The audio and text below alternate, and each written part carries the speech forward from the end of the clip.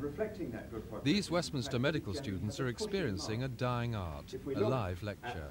In a few months' time, most students at the medical school and six outlying hospitals will get their medical lectures via TV. London's Victorian trams, laid to rest 34 years ago, have made it all possible.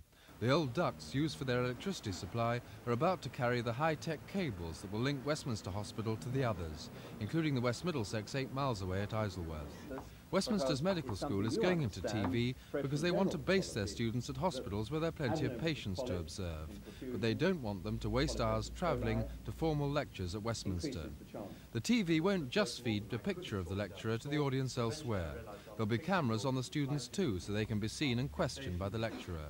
He'll have to have the skills of a TV director controlling pictures from as many as six different hospitals. What do the lecturers think of that? The older, stuffier ones are very frightened of it. And uh, do they mind you saying that? I expect so.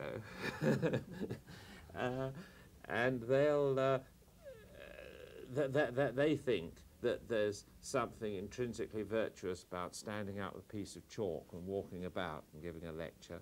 And uh, we think that we want to get away from this.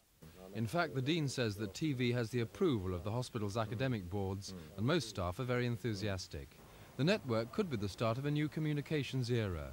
Patients' records could be sent via cable between the hospitals, and there could even be bedside diagnosis with the consultants in Westminster and patients in Isleworth and elsewhere.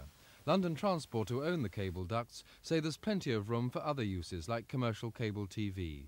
Well, we have about a thousand kilometers of ducts like this, and we also have about 400 kilometers of railway route. And between the two, we find that we can make up routes that suit most major applications. So the old tram system has a use after all, providing communications into the 21st century. Simon Neve, Thames News.